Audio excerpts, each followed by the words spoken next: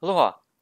So for this next step, I'm going to be mounting uh, two of the bills to the pieces. It's going to be the spear, or ihe, and the, the sword. The, the trident I'm going to wait till later just because it's a little bit more involved, so it's probably going to be just a beach to part of its own video. Um, the two different mounting styles that I'm going to use, uh, first for the ihe or spear is going to be similar to a tongue and groove. Um, there's there's a lot of different ways that I've used to mount in the past, and I actually kind of change depending on the piece, uh, which one I use. For this one I decided to go with a tongue and groove just because it's a larger bill. Um, I like the way that the tongue and groove holds uh, or mounts to the wood um, and it also works out really clean when you go to lash it together and, and, and, and put the feathers into place. Um, so what I'm doing here is drawing out the, the section of the marlin bill that I'm going to be cutting out in the bandsaw. Once that's cut out, uh, I'm going to mark, use that as a template and trace that out onto the wood. And then I'll in turn cut that out on the, the bandsaw. Um, it's not going to be a perfect cut when I cut it out, it'll just be close. And it's really not a big deal because what I'm going to do is as soon as I cut it out, I'm going to go back and clean up all the edges, um, either with a file or, or with a chisel. Uh, I, I, really want it to be as close as I can. Uh, the less space there is in there, the better. Um, it just has a better hold. Uh, so I do epoxy it, but you know, I don't like it to be drowning in epoxy all the way around. It just doesn't look that's good to me.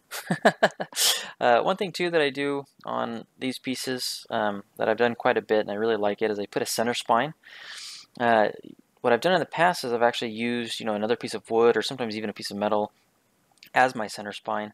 For this one what I'm going to do is I'm just going to drill in about an inch into both sides, both the marlin bill and the uh, koa wood and then fill both of those with epoxy and so the epoxy will create as it hardens its own its own center spine that will hold.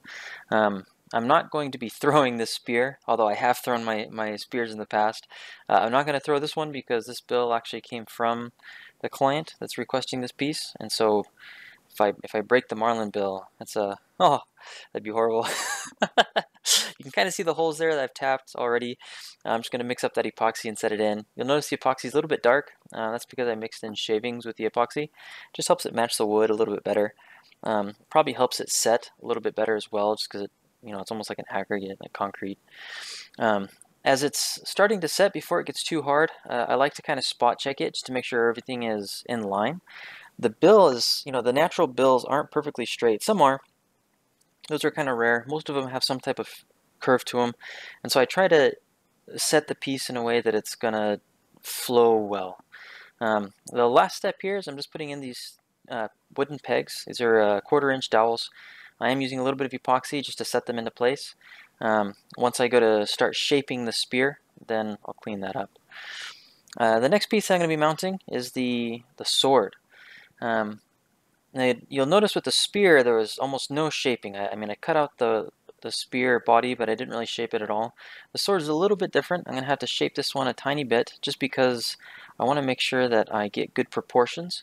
And so I'm not going to shape it past the outline but I do want to make sure that once I get an outline that the sword is going to really fit well in that, that design.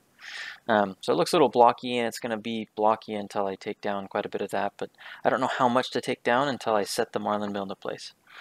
Uh, how I'm going to fix this one is I'm going to do an inset. So rather than a, a tongue and groove like I did on the last one, I'm going to inset this in.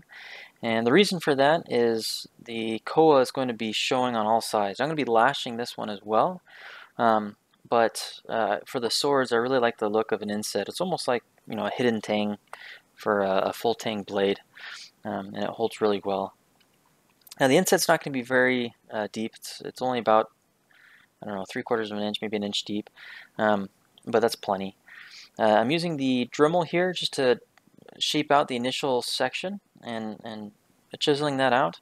Really what I'm doing is I'm just getting it ready. Um, I want to make sure that I have a good tight fit with the marlin bill and so I don't want to go too take out too much wood before I, I, I verify that. And once I check that out, then I'll take a, another drill and uh, a different bit, drill out as much as I can, and clean up the edges with a, a chisel. And so that's you can see here. Now, you can't really tell from the video, but I've marked on that bit where uh, how far deep I need it to go, um, just so I don't take out too much wood. Otherwise, it it can be a pain. Um, I have clamps on either side just to make sure I don't crack my my koa just because the side edges are a little bit thin, um, a little bit thinner than I would have liked, but that's just a result of the bill. Um, I could have taken off more of the bill, but I didn't really want to. uh, the, the last step is similar to the other one. I'm just going to be cleaning it off, um, gluing it in, and then I'll be pegging it. Uh, for the next couple of videos, uh, I've gotten to the point now where I'm going to be spending a lot more time on each piece. I'll probably be finishing each piece one at a time. So each of the next videos will be me taking the individual pieces from what you've seen here, where I've, I've prepped the bills and then set them into place to finishing the entire piece and, and getting it ready and shipping it out. I hope you enjoyed the videos. Aloha. See you next time.